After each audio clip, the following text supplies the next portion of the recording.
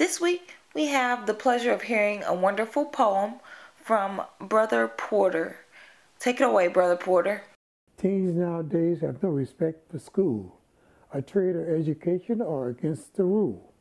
Sleeping in the day, running the streets at night, using or selling drugs, or looking for a fight. Rapping to the girls, call them bitches, call them hoes, make them get a gig, buy you cars, buy you clothes, running with the gang, killing just for fun. Help them stop the violence, take away the guns.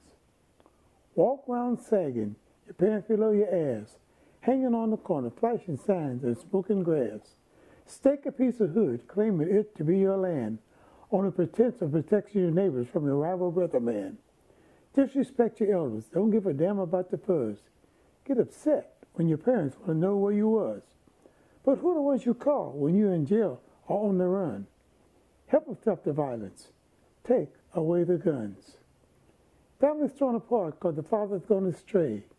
Mom worked two jobs, kids alone at home all day. Junior tried to help, gonna bring home some bread. He tries to rob a store. His victim winds up dead. They put the boy in jail, and in order to survive, he has to join a gang, or he too will die. The boy pays the price for the wrong the father's done. Help us stop the violence. Take away the guns. Crime is on the rise everywhere you go. Drug and prostitution is what makes the money flow. Destruction and control is the order of the day.